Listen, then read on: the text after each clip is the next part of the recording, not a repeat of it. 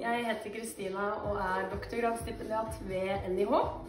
Og i de tidene her så er treningssentrene stengt. Det er et sted jeg liker å trene, og da må vi finne andre løsninger. Så i dag så skal jeg gi deg tips til en hjemmetreningsøkt med minimalt med utstyr.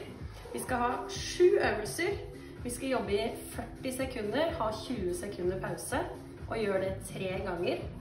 To minutter pause mellom hver runde, og da har du trent på 25 minutter. La oss sette i gang. Øvelse er ettbens knebøy til stol. Vi skal jobbe med benstyrken. Ett ben. Sett meg ned på stolen. Kan hjelpe til med det andre beinet.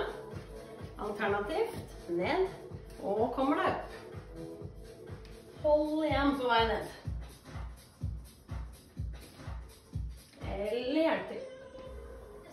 Øvelse er roing med så enkelt som et håndkle og et dørhåndtak. Vi skal jobbe med rygg. Lene meg bak. Trekk meg opp. Samle skulderbladene. Jo lenger ned du lener deg her, jo tyngre blir øvelsen.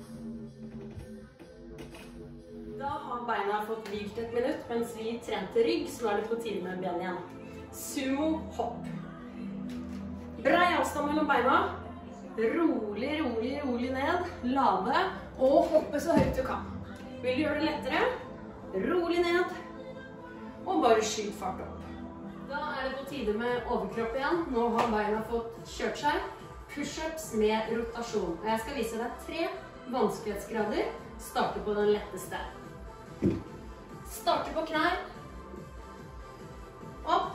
Prøver å rotere over. Nivå to. Ned på tær. Opp på knær.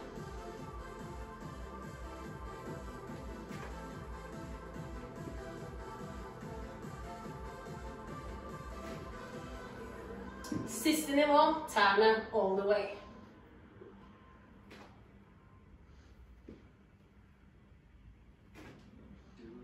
Etter pushups er det bare å bli nede på gulvet. Vi skal kjøre korsrygg og litt skuldre. Jeg har funnet fram vannflaska mi. Klar for rygghev med jorda rundt, eller flaska rundt. Her er utfordringen å prøve å holde brystet ditt heva i 40 sekunder. Rotere flaska rundt og rundt. Kanskje du titter på klokka når det har gått 20 sekunder. Så snur du. Enda tyngre, og så løfte beina. Så skal vi kjøre overkropp, dips, bakside arm, skuldre. Kanskje du er så heldig å ha et like sterkt bord som jeg har. Hvis ikke så kan du bruke noen stoler på neste øvelse. Dips. Tippe setet utenfor. Går så langt ned jeg klarer. Gjerne helt ned til 90 grader. Skyver opp. Enda vanskeligere. Strake bein. Eller kanskje til og med beina opp på en stol på andre sida. Sjuende og siste øvelse før du skal gjøre det her to runder til. Nå skal du utfordre både hjerte, pust og kjernemuskulatur. Vi skal kjøre en burpee planke. Går ned, hopper ut, ut, inn, opp. Her er det bare tempo som kan stoppe deg, og det er det som gjør det tyngre. Stramme til i magen. Den siste, den kommer til å gjøre deg andpusten, men det er bare å stå på. Det var da sju øvelser. Du skal gjøre hver øvelse i 40 sekunder. 20 sekunder til neste øvelse. Så gjør du det tre ganger. To minutter pause mellom hver runde.